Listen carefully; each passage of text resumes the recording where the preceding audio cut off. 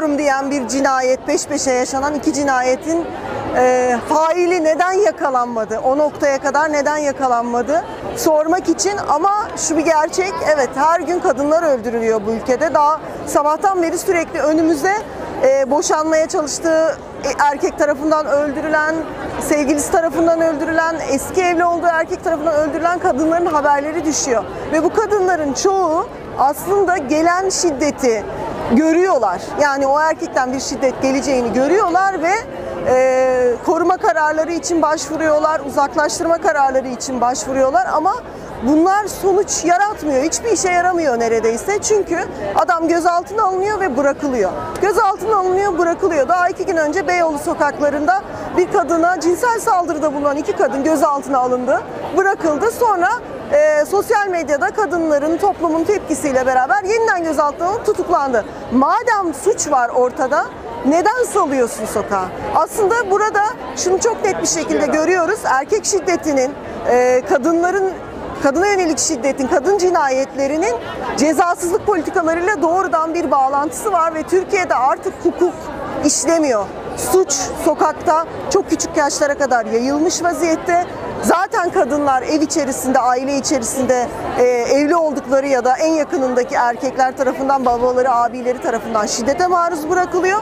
Bir de üstüne e, mahkemelerin, adalet sisteminin cezasızlığı, e, bu katillerin, faillerin, suçluların bakanlarla vesaire o pozları, görüntüleri nasıl olsa benim arkam sağlam, ben bir şekilde girerim çıkarım düşüncesi bu erkeklere cesaret veriyor.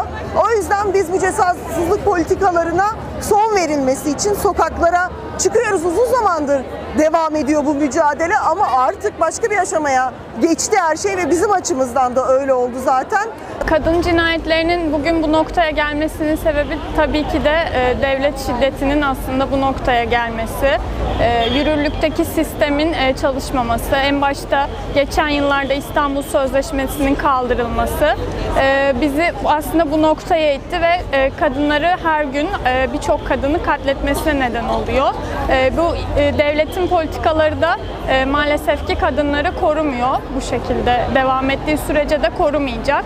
E, bu nedenle bununla e, mücadelemiz sokakta birleşerek örgütlü bir mücadele. E, bu sistemi yıkarak ancak mümkün olacak. E, ama bunu bugünden kurmaya başlarsak ancak e, elde edebiliriz. Bu nedenle e, yine İstanbul Sözleşmesi'nin geri getirilmesi, e, mücadelemizi devam etmemiz, e, katillerin e, hesap vermesi vesaire gibi en başta bugünden başlamak gerekiyor ama nihayetinde sistemin yıkılmasıyla çözülecek bir problem. Bütün bu cinayetlerin biz her zaman önlenebilir olduğunu en başından beri söylüyor. Yani feministler bunu her zaman söylüyor ve söylemeye de devam edeceğiz. Ve buna karşı da bütünlüklü bir mücadele hattı örülmesi gerektiğini düşünüyoruz zaten. Bu failler gücünü mevcut iktidardan alıyor. Bu failler gücünü patriarkadan alıyor. Ee, ve devlet yetkilileri bir şekilde çıkıp bunu işte ya işte yok o kişi uyuşturucu etkisindeydi. Yok bu kişinin psikolojisi bozuktu.